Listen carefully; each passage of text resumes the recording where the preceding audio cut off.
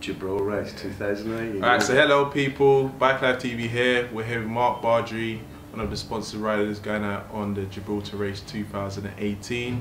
And he's going to tell us a bit about his journey so far and what to expect on the race this year. So Mark, introduce yourself, tell us how long you've been riding and what got you into the Gibraltar race. Well, we've been riding, I've been riding bikes since I was 17. Okay. Um, and I've done various disciplines with motocross, enduro racing, um, and road racing. And, and then after that, I've gone into the, to the off-road um, riding again. Um, and then I saw the advertising of the Gibraltar race last year and uh, in a magazine and I thought that looks like a challenge. Yeah. So uh, yeah, put my name about and got some sponsors, Bike Life TV. Yeah. Um, gave us a hand. So um, yeah, did the Gibraltar race last year on a Triumph, as you well know, and um, and it was a it was a great great sort of 14 day challenge. Um, this year I've been lucky enough to be sponsored, um, and this year I'm also riding for the for a charity, Okay. um, which is Each East Anglia uh, Children's Hospice. Cool. Um, and the sponsors this year are Albany Interiors, the company I work for. Um, we go out um, on the 22nd. We start racing on the 22nd, and uh, we're riding from Romania, um, and then we're travelling all the way through Hungary, Slovenia, Italy, France, um, Portugal, Spain, Okay. and down to Gibraltar over the 14 days. So, yeah, another off-road navigational challenge. Um, and uh, but yeah, yeah, looking looking forward to it. So you're riding through about eight different countries basically. Yeah, yeah, seven to eight different um, countries, and we're in the saddle from any any time from ten hours to twelve hours a day, um, navigating um, to certain waypoints that they give you on your GPS that you've got to try and do, and uh, get there in a certain time. So points are won and lost on your navigation. Okay. Um, so that's where that's where when it all happens is when you get to what they call a special special section, which is is your off-road section, which they'll give you a distance to navigate in certain areas to, to navigate to in a certain time. okay. So that's where all the point scoring is is done.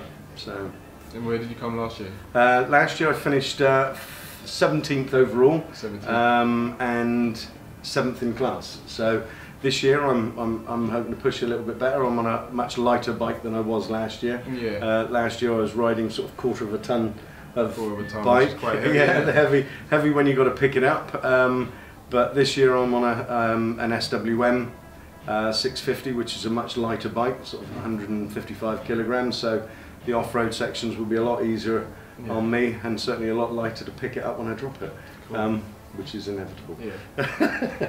Inevitable. So tell the people what's the terrains like that you cross. Um, this is your second year. Second year, yeah, last second year. So year. last year was an eye opener on some of it on a big bike. It was um, there was some challenging uh, terrain sort of thing, rocks, um, loose gravel, um, some hill climbs, and then you've got some um, muddy forest sections.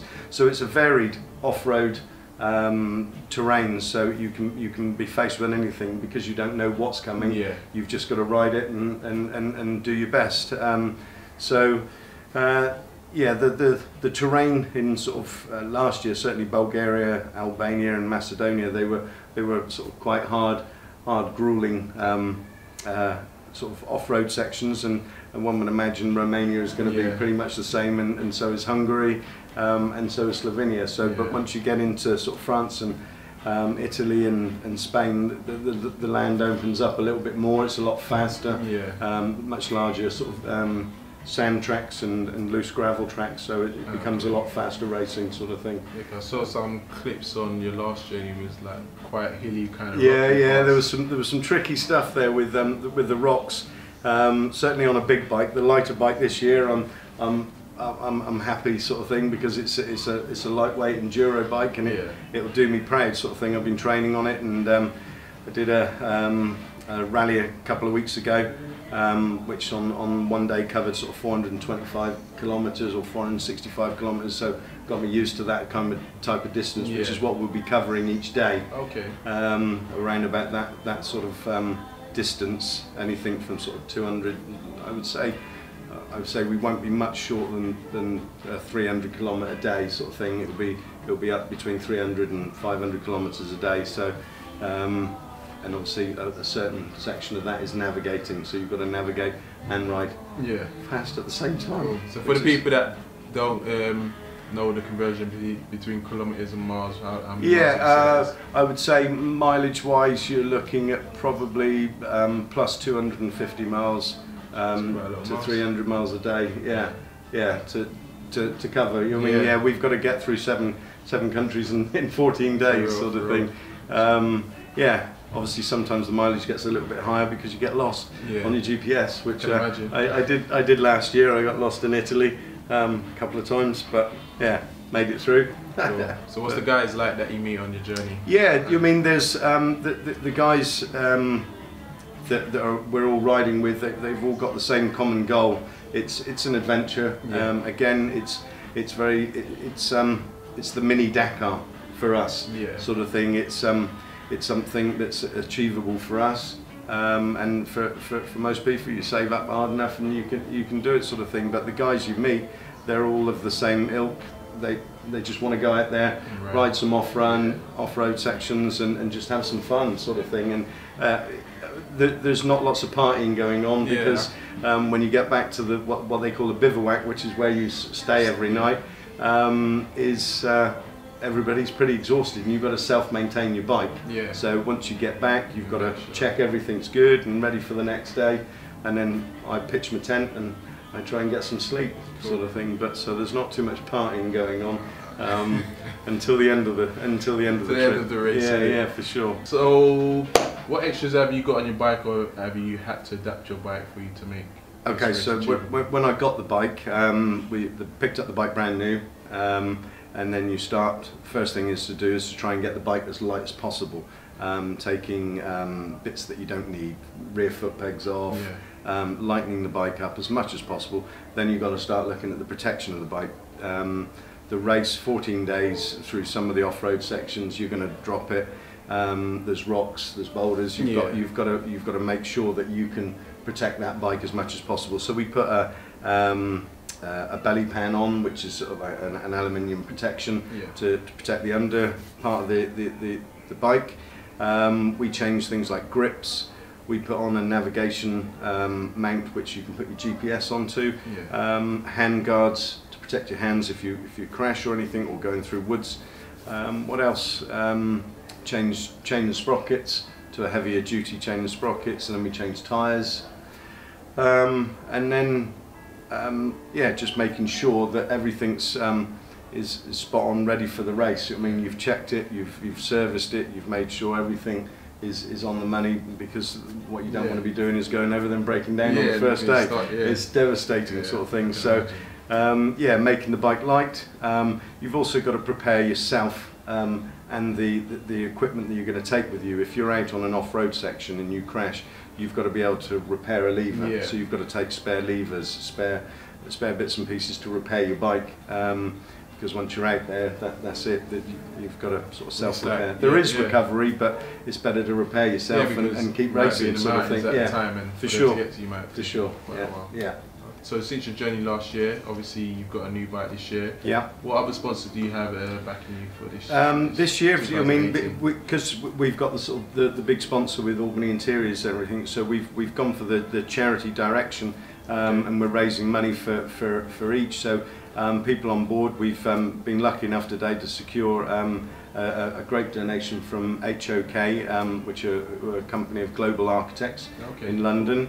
Um, Wessex Fixings is a company that we use um, for our supplies who've uh, been very generous. Um, and there's um, various companies that we use that we've asked Okay. um, and they've all been very very helpful and donated and, and we've generated uh, um, some good good um, funds from Facebook and things Yeah. like that so the advertising on Facebook I've just keep I keep handing people Yeah. put your put your hand in your pocket every penny counts sort of Penny thing counts and the Yeah. support is always needed. for sure for sure Definitely. So Mark, what kind of training do you do to make sure you're ready for the race? Okay, um, well, this year um, I've um, I've probably worked a little harder than I did last year because I know what I'm going into this year, Yeah, yeah. Um, and I've worked sort of hard to sort of lose some weight. Um, so I've um, in fact lost lost uh, nearly a stone in Okay, weight. that's so that's good. So all my riding kit fits a lot better. um, but the the most important thing about uh, like a rally of this kind is um, is more endurance. Yeah. Um, is and and mind conditioning is is knowing that you've got to. Um, once you're on the bike, you know you've got 12 hours ahead of you um, riding and navigate, and and you stop for fuel and stuff like that. But there's times when you want to stop and go, you know, I'm done. I'm I- I'm, I'm seven hours in, and you, I've I've got another five hours to go. Yeah, and the and you've got to keep. Oh yeah, parts, you've and and the heat you're going through 35 degrees.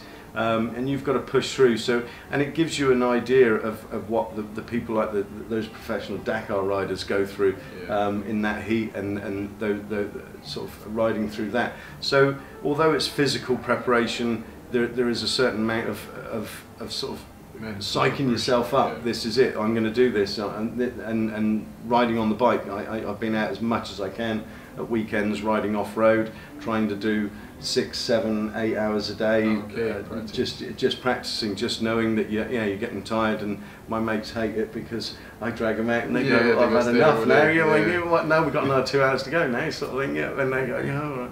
So, um, but yeah, that's the type of preparation. Is it's, it's it's a lot of mental preparation, Yeah. knowing that you've got that challenge ahead of you, and that's that's the challenge of of, of, of, a, of an event like this. It's you're challenging yourself as, as well as your, your navigational skills and, and your fitness and everything else. So, yeah, Okay, cool. I'd like to think I'm ready for it. Yeah, yeah. I believe so. I believe so. The new bike, lighter bike. That's, Yeah, think you can maybe become definitely. number one. Lighter, lighter racer, lighter bike. Yeah, definitely. Does- Did anything happen on your journey of 2017? Like, what was the worst thing that could happen during the whole The, the, the, days? yeah, the worst thing was day one. Day one. Day one. on day one? At day one, I um, hungry, excited. Yeah. Um, took the brain out, left it in the lunchbox, Okay. and uh, and uh, unfortunately, I went out and on the first special section, I was riding. Um, I was comfortable with the speed I was going, and then I I crashed quite Oh, quite badly, and I cracked two ribs, and I, I did my hip in sort of thing, and it, it it took a long time to get through that special section, Yeah. and that whole day was a, a painful journey, and that was the that was the first day of a 14 day event. And when I got back to the bivouac they the nurse peeled me off the bike and and I got seen by the race doctor and confirmed my sort of cracked ribs and um, and that was my lowest point I remember Okay. phoning up my girlfriend and going what have I done Yeah, do you know what I mean I've invested all this Yeah. money and effort and and um, and I didn't think I'd be able to ride the next day because I was in so much pain. But they, they were kind enough to give me a hotel bed um, and a considerable amount of drugs, which Yeah, was which was which was great. Um, and Sort of morphine or yeah, something. that's it. Yeah, it was great. Um, the Italians uh, they, they have a they have a certain different type of uh, um, ibuprofen over there. Okay, it's, slightly stronger. Um, but I got up the next day and, and, and in good spirits, and I thought, this is it. I'm going to do it, and and um, and that's that mindset. Yeah, the mindset The, the in. mindset is actually don't give up on this. This is going to be a painful second day, but you can do it Yeah. if you just take it a bit slowly. And, and I did, and, and the second day was, but and the third day got easier, and yeah, the drugs wore off, and Pain they got paid. Yeah, again. yeah, that's Oh, it. yeah. But They yeah, no. So, it, but the excitement of that day one at the beginning, and then that first part of the day, and then crashing. I, I've crashed many, many times, um, and got away with it. Um, Yeah. This particular time, it just it just went wrong, and and I I hurt myself. I was badly winded, sort of thing. Somebody, a couple of the riders stopped and helped me pick the bike up, but they're on a race. They Yeah, they, so- they, they helped me up, and they were gone, sort of thing. Um, but yeah, that was a that was a low point at the beginning of the race, and the rest of it just went up from there. It's Yeah. you, you, you just every day was a challenge, and you completed it. Um, so yeah, it was. It was So yeah. when you completed the race, was the ribs still hurting? Or was yeah, it was. They, they were. They were. They were. They were. They were getting better, but they. You, Well, yeah. yeah. you were bouncing around for fourteen Yeah, that's what I days. was about They- to say, the terrain and all yeah, that, Yeah, I came home and it was. Um, yeah, uh, la- rest for about a laughing was laughing was sore. Um, but yeah, no, it was. Um, I think toward, as you got further into the race, the pain didn't seem to matter as much More because your goal became closer and closer, and and and uh, uh, when you're talking in the bivouac to the other guys and the radios, it's like, yeah, Gibraltar's close. We're gonna we're gonna make it now. It's, and, and so your your determination goes slightly higher, and that takes the pain away, I guess. But um, yeah, so it's um, I'm not going to do that this year. Yeah, yeah, of no, not, not crashing that. No Ah. crashing big time this year. No. Okay. So for any young people that would like to get involved in the um, Gibraltar race, or Yeah, well, it's. I mean, um, what would the, you suggest for them to yeah, getting getting into off-road rallying is um, it's getting bigger and bigger.